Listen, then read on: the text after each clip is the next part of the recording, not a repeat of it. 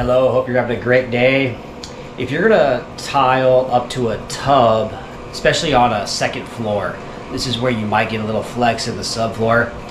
You don't want to use grout, you're gonna get a noise. Lesson learned on this one.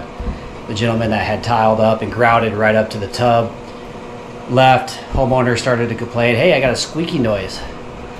Uh, not to worry, that's really just your tile rubbing on that Take tub. Take out the grout, and we're gonna fill it